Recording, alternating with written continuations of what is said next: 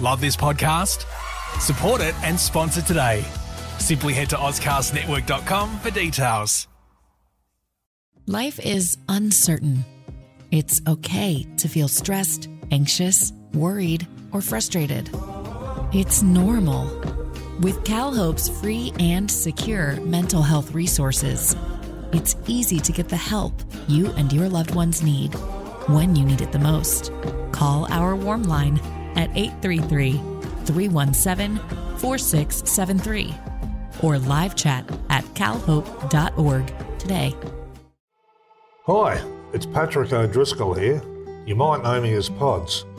I'd like to welcome you to the Adelaide Hills Farmcast. It's the podcast we produce for the love of farming right throughout the Adelaide Hills region. And now, I'll hand over to Adelaide Hills Farm Services' very own Belle Baker.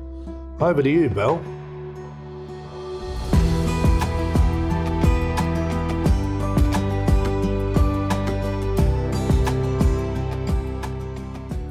Pods. Hello, and welcome to this month's Adelaide Hills Farmcast. Today I'm recording at the Littlewood Agapanthus Farm with Tracey Cook. Tracey and husband John have been running Littlewood Agapanthus Farm for a while now, so they're old hands at this farming bizzo.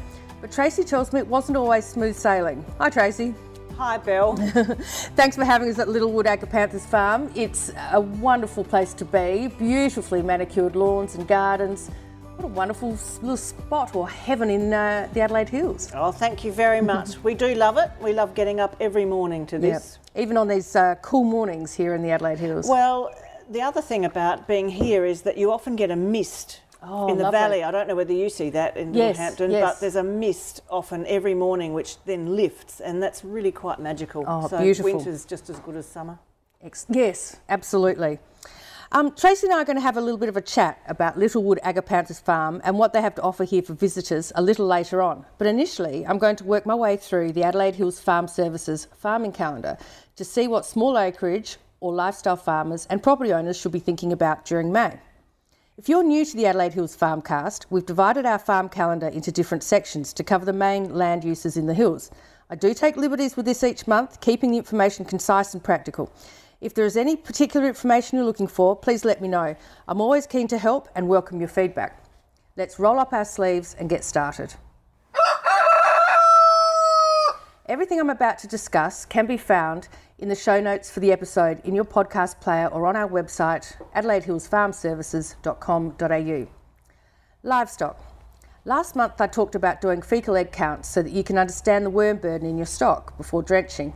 It's not too late to do this, and I would always suggest taking the time to get your samples tested means you can put a drenching program in place that is actually effective. We heard recently we had a client in the, in the school holidays looking for activities for their kids, so they went out on a poo collection adventure. I think it's a rather grand name for. What a uh, great idea. I know, I know. Can you imagine? Um, you know, because as we know, kids love grot and mud and poo and They anything do. that's a bit gross. Needless to say, I'm told they had a uh, quite a cross section of samples to choose from in the end. Not all of which made it to the uh, fecal egg count selection part of the process. Tell me, Tracey, have you got a PIC number here? We have. Right. Yes. Excellent. I knew you would. Yes. A PIC number, for those who don't know, is a property identification number. If you have livestock, sheep, cattle, alpacas, goats, even chickens, the lot, that you want to sell, keep as pets, send to an abattoir, or in fact are born on your property, you need a PIC number. The cost is nominal, currently $93 for two years. The process can easily be completed online via the PIRSA website, and I've included the link in the show notes. The reason I'm suggesting that you get on with this minor administrative job now is that I'm hearing that there is up to an eight to nine week wait for new PIC numbers. If you're keen to move some livestock off your property before it gets too wet or inaccessible, it might be a good idea to start the process now. The penalty for not having a PIC number can be a fine of up to $10,000, and that doesn't sound like a whole lot of fun. Mm. I have heard it was enforced recently, probably not to the 10,000 level, but way more than I'd want to be paying. Now, alpacas. I learnt some really interesting facts about our alpacas, their anatomy, management needs, and their foibles. I was given a comprehensive handbook on managing alpacas in Australia, an easy to read guide that reinforced everything I learned on the day. To their credit, the Australian Alpaca Association encourages all registered breeders to give a copy of this guide to new owners when they sell an alpaca. So if you don't have the guide, perhaps ask for it. This is a fabulous initiative that I would like to encourage all breed um, societies, cattle, sheep, goats, horses, the lot, to consider introducing, particularly those that have that are breeds that are popular with small lifestyle farmers like Dorper sheep or Angus Murray grey cattle. Particularly aimed at those people who don't naturally come from a farming background who could really benefit with key information on how to look after their stock. Do you have alpacas here, Tracey? No, we don't, Belle. Our neighbours do, mm. and we love to see them as we ride by on the horses. Yeah, lovely. Yeah, they're a lot of They're fun, very aren't they? cute. They are, they are. If you own an alpaca or three and you haven't given much thought to them aside from sharing them, then here's a list of things to consider and a few alpaca facts that just blew my mind. Alpacas are members of the camel or camelids family. As such, they have toes, not hooves. That was news to me. I'd never looked that closely at the feet of an Me alpaca. either. Mm. Their toes need regular trimming, at least six monthly. Using a pair of garden shears works well. It's recommended that it's done at shearing time, ideally because they're already in the yards and being handled, and again six months after that. If your alpacas are living on hard rocky ground, they may wear their toes down naturally. However, here in the Adelaide Hills, the ground, even when dry, is too soft for that to happen on its own. Alpaca's teeth also need grinding down. Now, I can't cope with this. Apparently, you can do this with a big file, one of those industrial metal looking mm. workshop style files, but to be honest, it doesn't sound like much fun to me.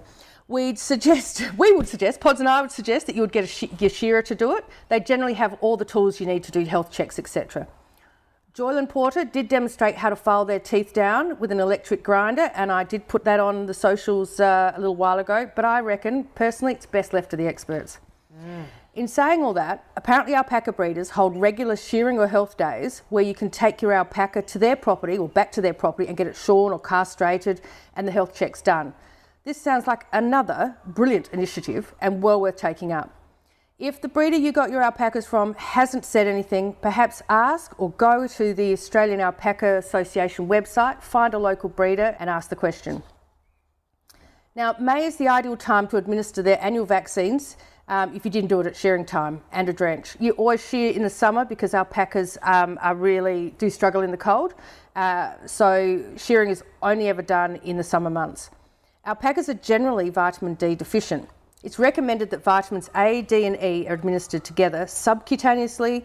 Alpacas are very good at regurgitating, and this can mean that your precious vitamins and, and or drench end up on the ground. That could get a little bit expensive, and we get it done before the cold, wet winter sets in in the Adelaide Hills.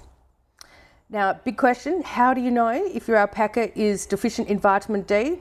It's an excellent question. I'm so pleased you asked, Tracey. I know, right? You may know you may notice your alpaca lying on its back with its stomach facing the sun.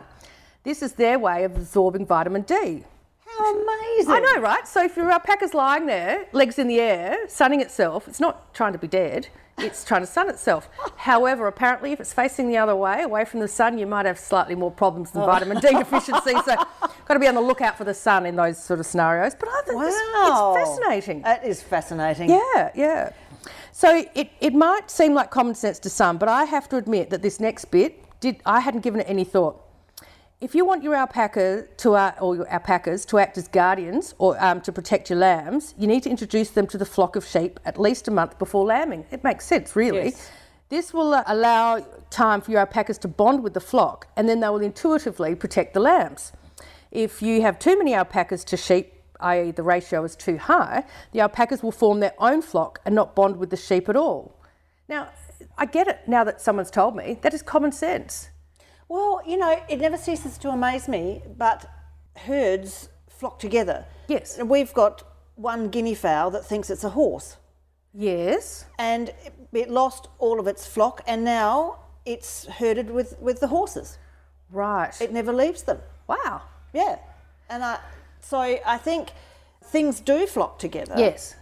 Yeah. It, it makes sense Does now I'm make being told about it. And But they it didn't occur to each me. other and, Yeah. and look out for foxes, etc. Yeah. It's it's It's amazing. Yeah, it is. It is. Um, now for the fun stuff. If that we didn't think that was fascinating enough, and who knew I would be raving on about alpacas? Who knew that I would actually? I mean, seriously, I love them. Did you? I know, aren't they? Um, Potty's getting me an alpaca for Christmas. Oh, Can't wait. lucky you. Yes, I know, right? Um, did you know? Well, how do you, do you know how to tell the difference between a male and a female alpaca? No. No, other than, of course, if you've got them in the yards and you have a Have a physical look. Yeah. Male alpacas pee forward in spurts, and female alpacas pee backwards through their back legs in a steady stream. Mind blown. Seriously, who knew that? Who knew? I mean, who, No. so yeah. Who knew? So I've spent a lot of time in the last So week. So all you need to do is watch them weep. Watch, watch them weed. So I spent a lot of time in the last week staring at alpacas in random paddocks going, are you a male or a female? anyway, also, the other interesting thing about alpacas, um, female alpacas, um, they have what's called induced ovulation. They don't ovulate regularly like other animals and women. They ovulate when a male alpaca is introduced to the yards or the paddock. Handy. I, I know, right? I, yeah, I think it's great. I mean, so and then they don't have to go through all that PMT and everything else. Unless it's necessary. Unless it's necessary, absolutely. So I just thought that was great. So that also means you don't have to get everything in sync if you would like. It, it's Mm. just makes it's great. So you don't have to time everything with its cycle. You just yeah, cool. And the other thing, and, and see, I don't know. I'm probably just a little bit fangirling on the alpacas at the moment, but have you ever thought about how you would pregnancy test an alpaca? How you no, how I haven't had that thought. no, no, and I hadn't either. But what they do, breeders do what's called a spit off. Yeah, so this is what happens. So they line all the female alpacas up and then they introduce a male. And if they are pregnant, they will spit at the male, right? So, like a defense mechanism. If they are not pregnant, they won't spit. They'll probably sit down or cush, I think the word is, to, To be attract them to attract to be mated. Oh my Right? So, and it's 95% accurate. So, who needs to spend money on a vet when you've got alpacas? Fabulous. How cool is that? Yeah. And and it's been tested. You know, these people the other day were saying, well, they weren't sure, so they bought the male alpaca back in a few days later, and um, same thing happened. It, it works. Wow. I know, right? No, but it's, it's just evolutionary Amazing. animals. Amazing. Yeah. All right. So that's the fun stuff. So get back onto your productive gardens now. Do you have vegetable gardens and things here as well? Yes, yes of we course you do. We've an Your orchard and a veggie garden. Yes, yes. All right. Uh, so now's the time to give your garden a bit of love. It's the perfect time to add fertilisers to your soil um, and get your garden beds ready for planting again. If you've been using the same soil, perhaps in a raised garden bed, my personal fave, because last time I looked, rabbits can't jump. So I'm into raised garden beds. It can be a good idea to empty it all out and give it a full refresh.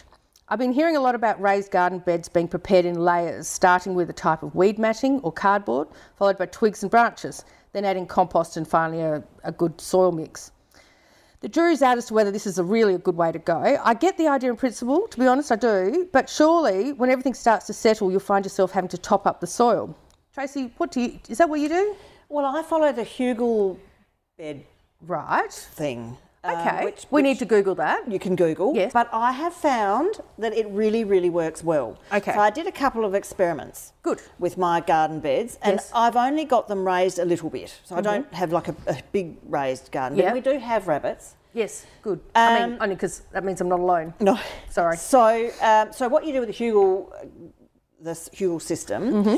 is uh, you put down big logs all on the bottom Right. Right. Big Yeah. logs, and you think to yourself, oh, gee, um, you know, I should break them up or something. No, you don't. You just put the big logs that you get from the paddock Yeah. uh, and put them all down. Then you put in your compost. We Yeah. make our own compost, so Right. uh, we collect horse poo Yep. and oak leaves, particularly because they're wonderful. Right. And, Writing this down, everybody. and grass Uh, clippings and everything else. And we have big piles, which we then um, overwinter. yeah. And, and through the summer, we try to make them get up to a pretty high temperature, so that kills the weed seeds. And you, wow. And then we use that in the garden bed on top of all the logs. Yeah. Um, and we often will let it sit, particularly over winter Yeah. for, for a while. Uh, and those garden beds have been the best produce for me than anything else. Wow. Yeah. I'm- and and what happens, I think, the idea of the logs underneath is that they just generally break down slowly in time. They're organic it- matter. Do they not go mouldy? No. No. Well, no, No. you don't see them No, because they're no, covered. They're Yeah. covered with. And do you reuse dirt. those logs the next year, or do you? How often do you Uh, regenerate well, I've left beds? left it for the last two or three years, and I just top up with some compost each year. Mm-hmm. But uh, apparently, uh, depending on the size of your logs, I mean, you can probably leave it for quite a few years. Wow, that is that is fantastic. Well, that's what I'm trying this year. We have plenty of wood and everything around the place, so I'm definitely going to be um, giving that a go. How do you deal with weeds on the bottom? Do you put a weed matting or cardboard, or Nothing. do you scoop it all out? For there's Nothing. Nothing. No, just on top of Grass. the ground. Or well, just no, it's not grass really in the orchard. It's but it is weeds. I mean, we have marshmallow, we have cape weed, we have all sorts of things. Um, we've pulled a lot of that out. We've sprayed a lot, but on those garden beds, basically, I pulled the big stuff. Just put the logs on the top. Yeah. And the compost. yes. Done deal. Right, amazing. You are making this a whole lot more simple than well, I had well, it. I, I like anything simple, and I'm really into no dig gardens too. Oh, yes, Yeah. yes. Charles, I don't know whether you know Charles Dowding, you look at his stuff, but the no No, but I'm writing that down as well. Good. So if the less you disturb the soil, the less weeds you're going to get.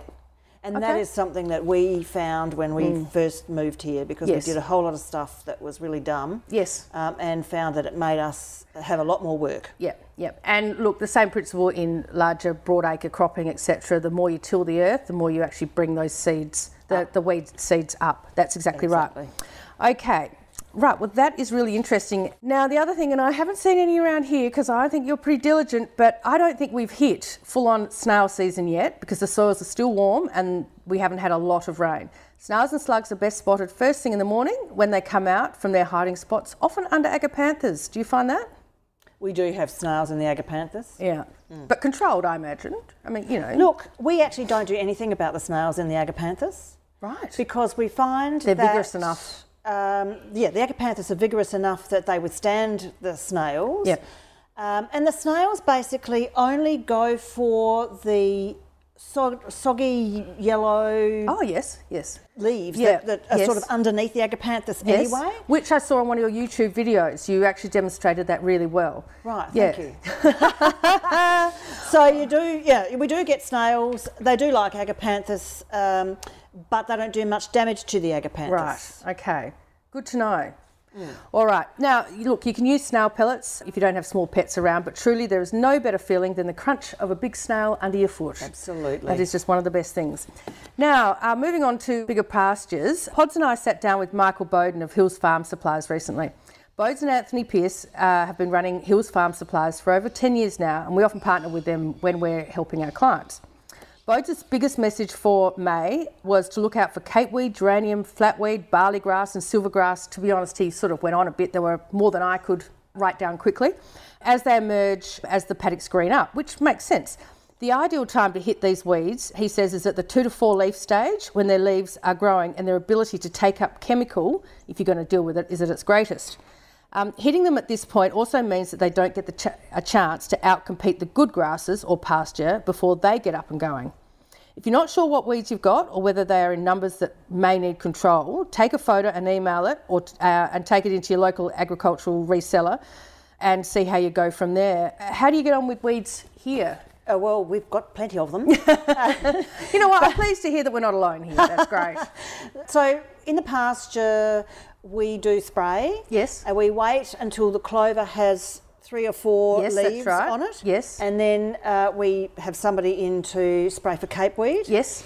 I anticipate this year it's going to be shocking because last year it was so wet we were Mm-hmm. unable to spray. Uh huh. Right. So this year we'll be right on it. Mm-hmm. Um, and then, of course, because we have manicured gardens and because of the weddings, etc., mm. we've got to be onto it all the time. And Yes. so what we've done over the years, and we've learnt this really makes a big difference, is when it rains, you know that you're going to get these little weeds emerging. Yeah. Kill them then. Do not Yes. hesitate. Yes. Just kill them. Get on them. Get out there, spray them. Yeah. Um, we try. We've we've tried to do as minimal as we can is in terms of using sprays. We don't really like to use it, No, but here no. you have to, um, unless you know you. Well, you're a you're commercial get- operation, aren't you're, you, You're going to get you know taken over with. Yeah, it. yeah. However, we've reduced our spraying a lot, and the, how we've done that is by mulching. So what we do is we let it rain, we let the weeds emerge, Yes. we spray them, and then we heavily mulch. Yes. Yeah. After that, you all you have to do is go along and pick out the odd ones that are weak Mm-hmm. Yes. in their root system anyway because of the mulch. Yes. And it's so much easier. Right, right. And the other thing I was saying before, Belle, about not digging too much. Yes. If you don't disturb the soil too much, Yes. You're going to be a lot better off. As soon as you start digging soil and, and all of that, you're going to get a huge amount of weeds emerging. Yes, yeah.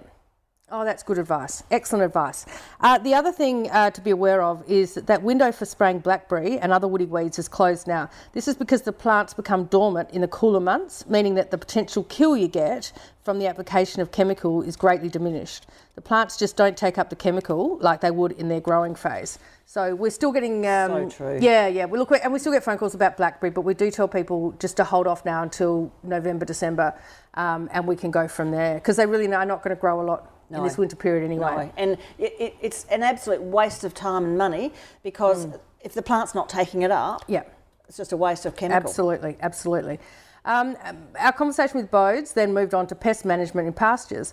Um, Bodes and Pods met at Ag College at Roseworthy back in the day, as, so they have quite a shared history.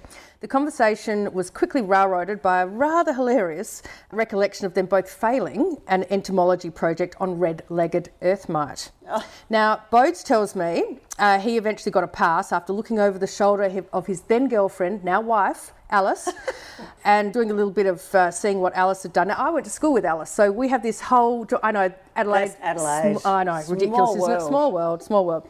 Of course, both Pods and Bodes promised, made me promise that I wouldn't tell anyone, so.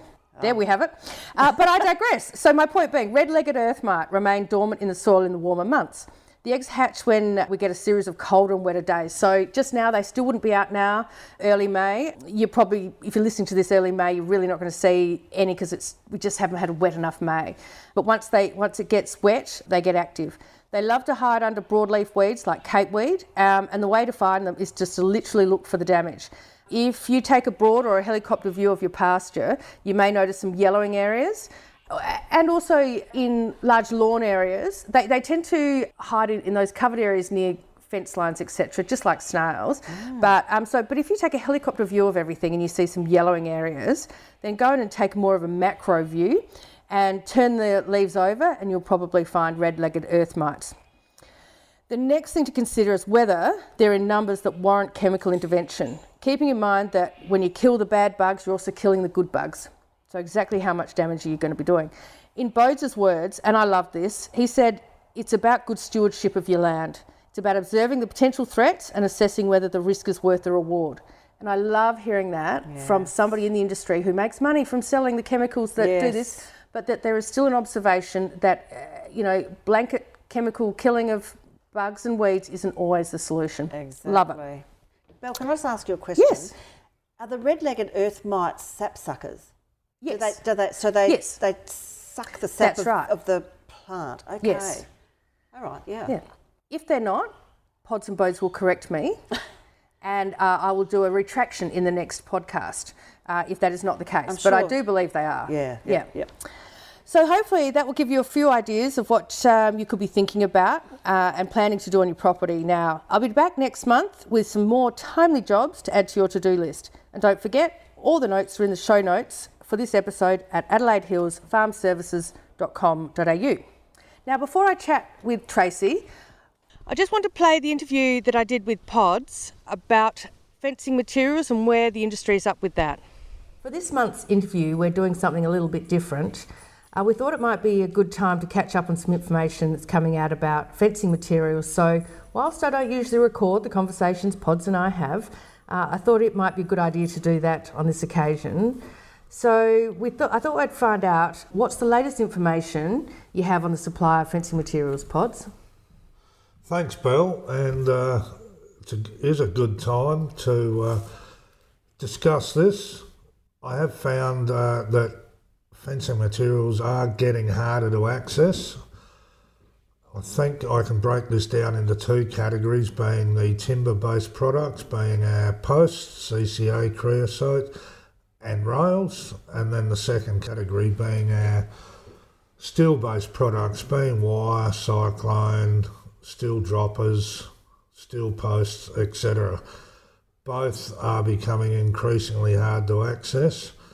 I think the timber based products are being driven by the fact that, You mean the shortage of them? or the shortage of the timber based products is driven by the fact we're competing with the housing industry and the building industry uh, with the advent of the 2020 Home Builders Grant. Yep. So the building industry is going gangbusters, and we're having to compete against the building industry. Mm-hmm. Coupled together with the fact that some of our timber mills are currently out of production due to the floods in New South Wales and Queensland of last month. And then with our steel based products, I think this is partly or mainly due to uh, uh, the fact of it being a perfect storm in the agricultural sector at the minute. Beef prices are at record highs. Lamb and mutton prices are very, very strong, as are wool prices. And I think, as we all acknowledge, farmers are very good at spending money and rightly so, are putting money back into their own business by doing a lot of uh, fencing Or and investing in their infrastructure. investing in their infrastructure. Yeah. And we- that's not just fencing, is it? That's we're also finding that with cattle yards, the availability of cattle yards, Yeah. sheep yards, shearing sheds, and the like. right. Okay. So is that a short term or a long time term problem? I, you know, is fencing over, or do we? Is this just a short term delay in supply? I think it's just a short term blip on the radar, but Okay. it's certainly something we have to be aware of at the moment. Okay. Are there any alternatives to the steel or the wood products? I guess the only product I can think of off the top of my head is the Wood Shield product, Yeah, right. manufactured in Melbourne.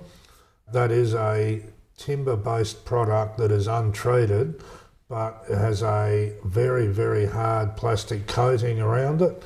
Uh, it And that's a fully- recycled product, isn't that it? is a recycled product, environmentally friendly, uh, Organic, certified completely organic. certified organic, and uh, is a very, very strong product. Yeah.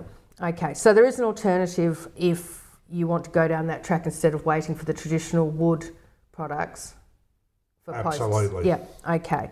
With the steel, you know, the wire and things, there's often two types. There's the Australian made, which is our preference, the Waratah products, but there's also another one that is comes from the steel comes from overseas.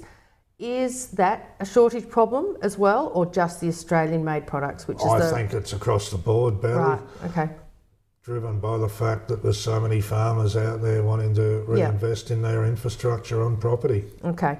So other than going to, you know, a wood shield product as an alternative, what can we do about it? What what can our clients do about it or what can we help our clients do I think it? one of the only real ways we can offset the problem to some degree is if there's any people out there who are just starting to think about a fence or part thereof of a fence that needs replacing, or indeed they're wanting to change a grazing system upcoming and put in some smaller paddocks, whatever it be, I think now more than ever, we've always said uh, planning makes uh, perfect, and this is an exact example of that. That plan thinking and planning a longer way out, and then talking to your reseller, talking to your contractor, putting some orders in place quite some time out is going to offset your requirement of waiting or any for delay material that might happen. Yeah. and any delay that may happen. Yeah, yeah. And so one of our um, pet things we love to talk about is when somebody uh, has a new, uh, they've purchased or are about to purchase a new pup and it's due to arrive in, say, eight weeks' time. It's been born and you're waiting for it.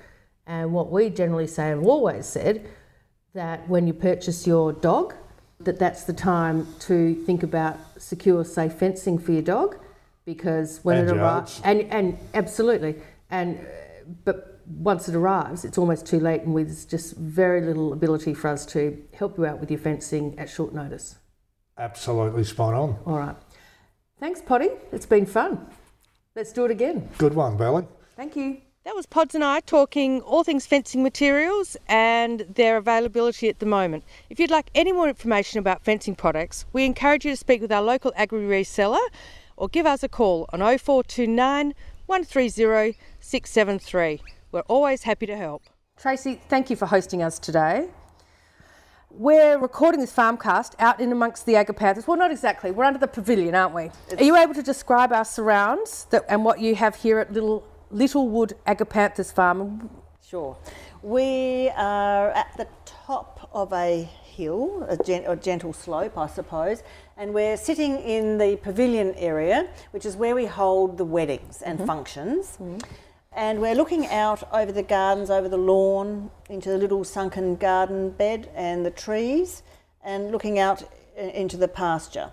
Or that's our hay paddock actually out there. It's a wonderful view from up here. You can see quite some distance, can't you? You can, yes.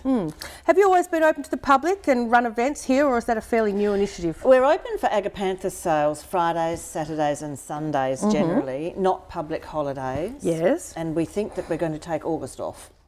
Oh, the first time in five years. Right, good idea. Um, Excellent. Yes, but uh, and we we have uh, often in the season when all the flowers are out, we often have tours, bus tours, and that sort of thing. A lot of seniors come in, which we Lovely. absolutely love them. Oh, how fantastic. Yes. Yep. Um, so I've watched a few of your YouTube videos, and I must admit I found them really, really engaging, and I've learnt quite a lot. I've definitely been dividing up my Aggies the wrong way, uh, and uh, and leaving them clumped up for way, way too long.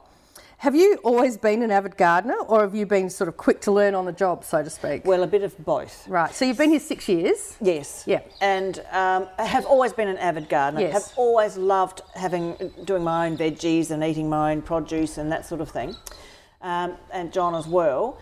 Um, my sister did horticulture, so she's been a great help Handy, to us. wonderful. Extremely handy. And um, but when we got here, look, I thought there was just a blue and white agapanthus. You know, the standards that you see Mm-hmm. everywhere. I had no idea that there were 200 in varieties in the family.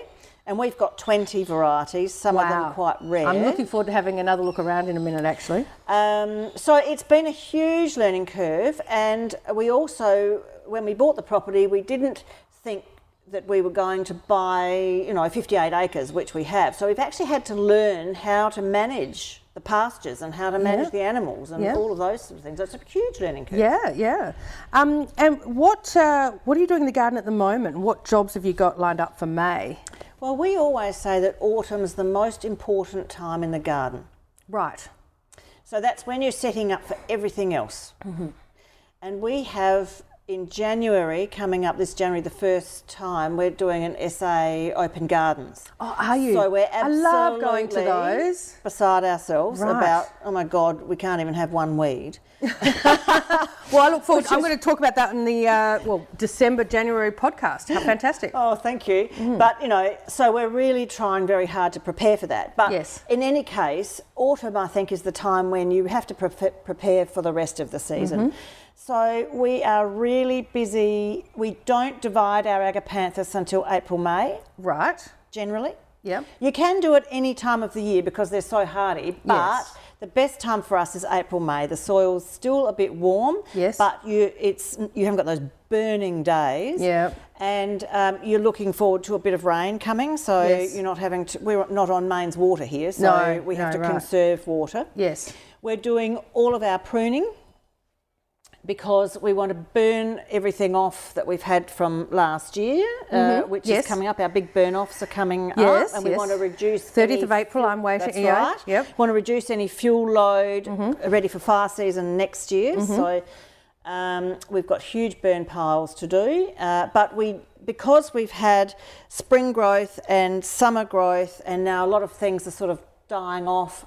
We need to cut everything back. Um, And do you get in there with a sort of Pods' idea of gardening is to get in with a chainsaw, or are you slightly more, or a hedge trimmer? Are you slightly more we elegant than that? No. Oh.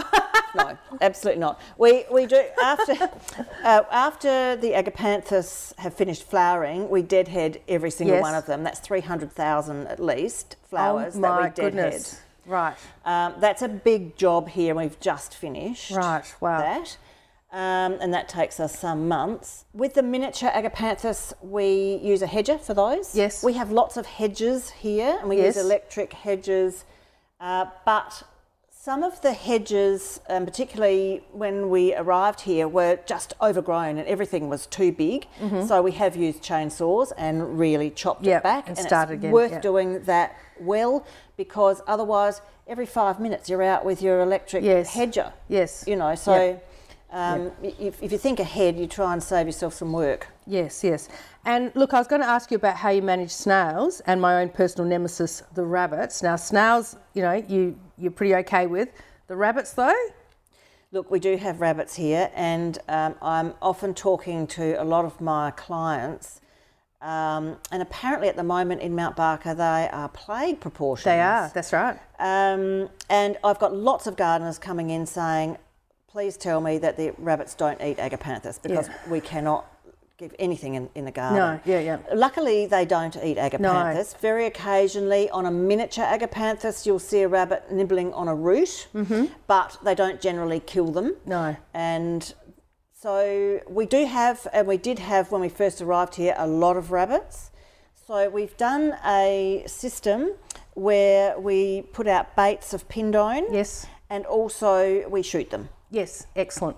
So we talked about um, how to manage rabbits in the last episode, and Rob Murphy from the Hills and Fleurieu Landscape Board suggested that you actually need a multi-pronged approach. You know, any one thing wasn't going to be enough, but that agree. together with the you know the pindone and shooting, but also to destroy their burrows as well, Yes. so that the new ones don't come in and just take over. So That's exactly Excellent. right. And right. sometimes, if you're planting young plants, and I've had this problem, um, they'll really go for the young plants. So Yes. I have glass cloches that I put Oh. over young plants until they've grown up enough that the rabbits aren't so uninterested. interested. Yeah, right. Yeah. Because I, I must say, in my own garden, the only thing the rabbits aren't eating are my agapanthus, Yes. which uh, is very exciting because it means I still have something to look at in the garden. that's exactly right. Um, yes, it's fantastic. And now, look, we've heard anecdotally, um, or perhaps a little bit more so, that there are a lot of ab- European wasps around at the moment. We've noticed quite a few. We're on the other side of Littlehampton to you.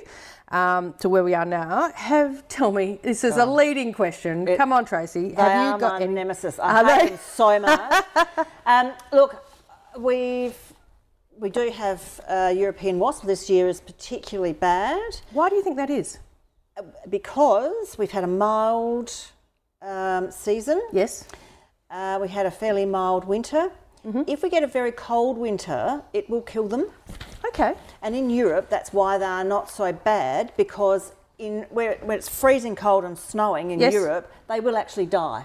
Okay. So each, each year the nest dies. Yeah, right. In Australia, we don't get that because we have. Even here in the hills, does that not get? Well, I think it does. but we did have a mild winter last But year. we had a mild Yes, winter. yes. We didn't have those, you know, zero and one degrees so much. No, no, where, you didn't. where you get up and you have to chip the chooks water, ice off the chooks water. Yes, yes. Um, and so I think that's one of the reasons we've got more this season. So they probably haven't died off as much No. in their hives. And so you can get hives where there's 100,000 wasps when if they don't die off. Really? Yeah. Normally the workers will die and the queen goes down into the hive Yes. and then s- keeps laying eggs. You know, so um, so that's been a problem I think this year. And I have done numerous things to try Okay, and kill come them on, and tell I've us. studied this. All right, Absolutely. okay.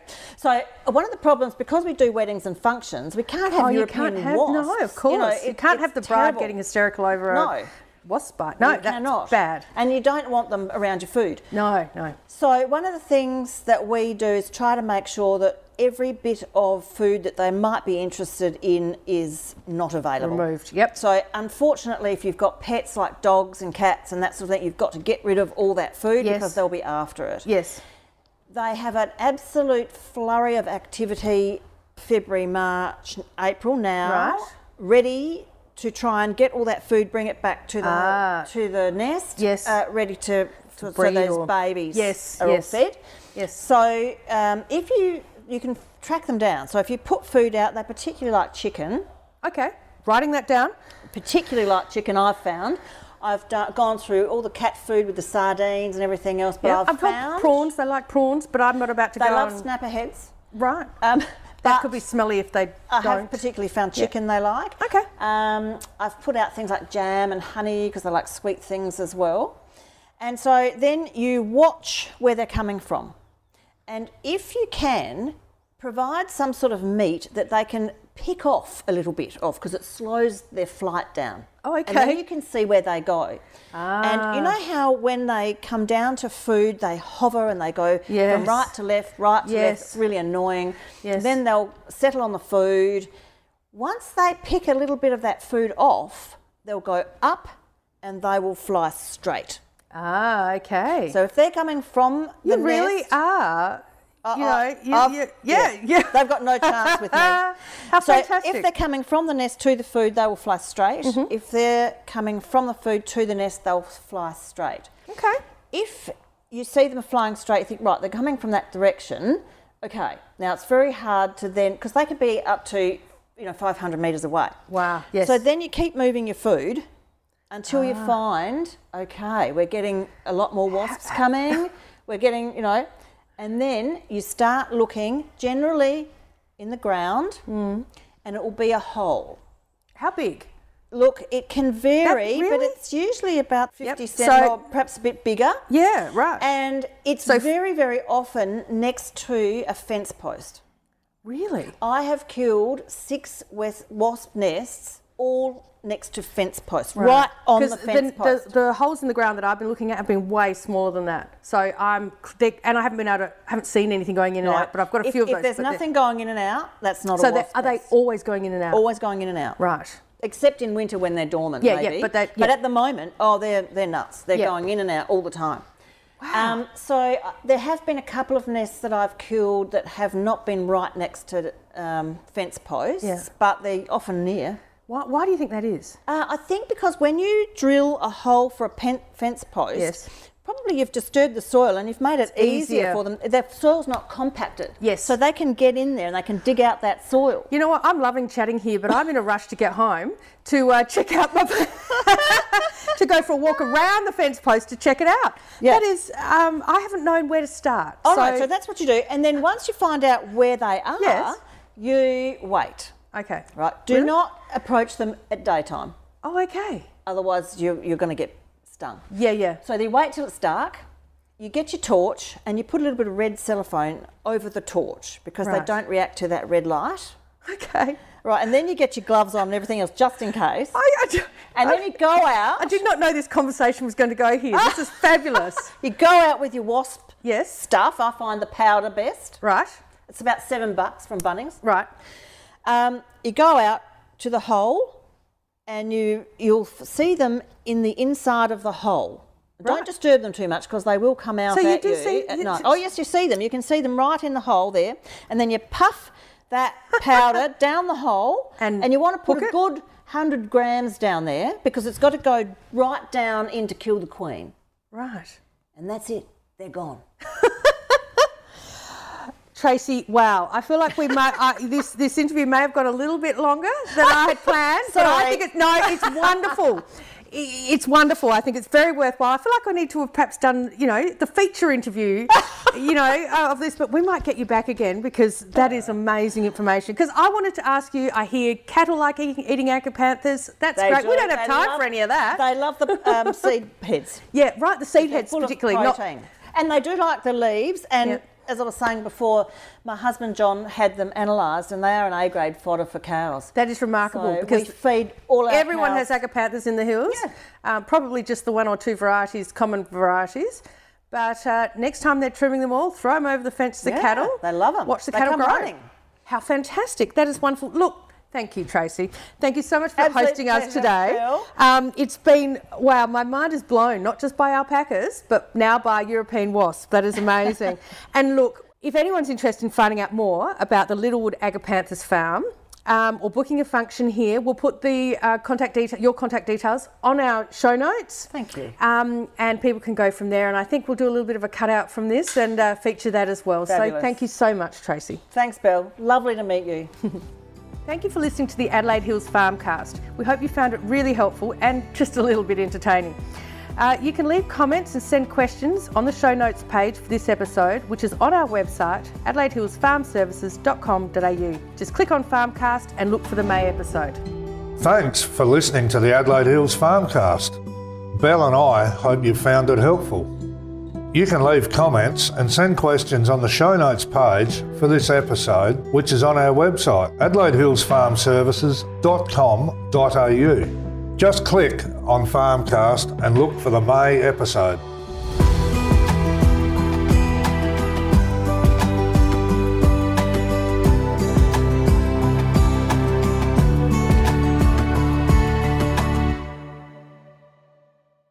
Life is uncertain. It's okay to feel stressed, anxious, worried, or frustrated. CalHope can help. Access CalHope's free and secure mental health resources. Call 833 317 4673 or live chat at calhope.org. Love this podcast? Support it and sponsor today. Simply head to AuscastNetwork.com for details.